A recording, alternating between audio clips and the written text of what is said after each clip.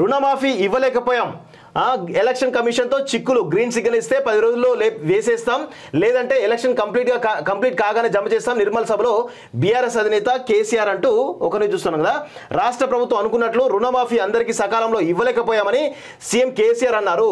గురువారం నిర్మల్లో జరిగిన ప్రజాశీర్వాద సభలో ఆయన ఆయన పై వ్యాఖ్యలు చేశారు. కాంగ్రెస్ చెందిన కొందరు ఎలక్షన్ కమిషన్ ఫిర్యాదు చేశారని ఎన్నికల కమిషన్ ఓకే చెప్తే పది రోజుల్లో జమ చేయడానికి ప్రభుత్వం సిద్ధంగా ఉందన్నారు.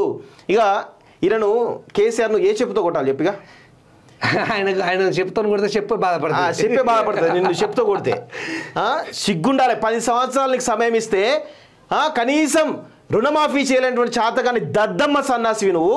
ఈరోజు ఇప్పుడు వచ్చి మాట్లాడుతున్నావా? నీ కొడుకు వాడేమో టీఎస్పీఎస్లో తప్పులు జరిగినాయి.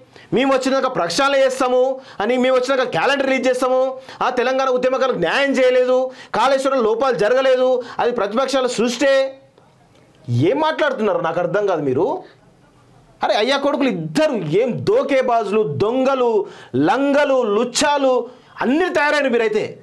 అబద్ధాన్ని మోసాన్ని కూడా మీరు అందంగా- బ్రాండ్గా ఒక బ్రాండ్గా క్రియేట్ చేసి చెప్పడం అనేది మీతోనే సాధ్యమే లక్షలాది మంది ముందు అబద్ధాలు చెప్తూ ఏ అసలు వీళ్ళని ఏమైనా అనాలంటే కూడా అసలు అనుభూతి అయితే వాస్తవం అబద్ధమే భయపడుతుంది. ఆ, అబద్ధమే భయపడతాం మేము. ఎన్ని రకాలుగా మమ్మల్ని వాడేటోడు ఎవరు దొరకలేదురా మేము పుట్టినప్పటి నుంచి అబద్ధం పుట్టినప్పటి నుంచి ఈ విధంగా వాడొచ్చా అనుకుంటాను అది.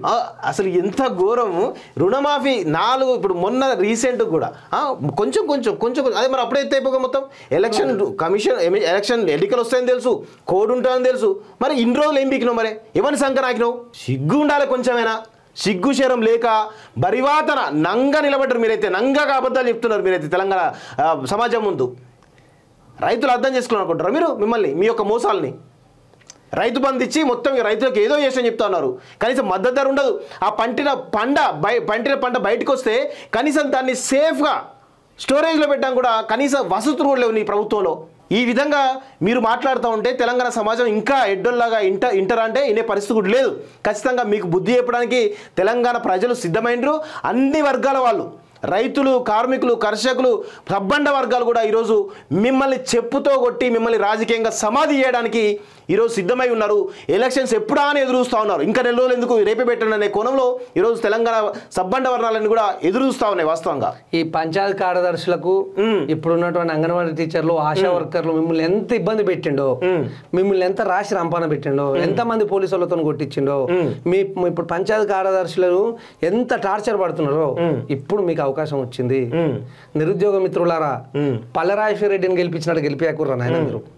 ఇప్పటిదాకా ఇగో ఎమ్మెల్సీ ఆయన గెలిపిస్తారు మాకు ఉద్యోగాలు వేయలేదంటారు. అవును. ఇప్పుడేమో అవకాశం వచ్చింది. ఎస్ మీరు ఊర్లలో ఊరి ఊర్లలో పోయి వీలైనంత మందిని. ఎవరు ఊర్లో ఉంటే వాళ్ళ ఎవరు ఊర్లో ఉంటే వాళ్ళు. ఎంత మంది వీలైతే అంత మందిని పోలింగ్ బూత్లకు కొంచెం వ్యతిరేకత ఓటు గురించి చెప్పుర్రి. ఇక ఇంతకన్నా మంచి అవకాశం దొరకదు. ఊరికి వచ్చి రోడ్ల మీదకి వచ్చి కూకొని మాకు ఉద్యోగాలు వేయలేదు. మా మీ- మాకు ఈ విధంగా పేపర్ లీక్ అయిపోయింది. పేపర్ లీక్ కాదు ఈసారి వస్తే.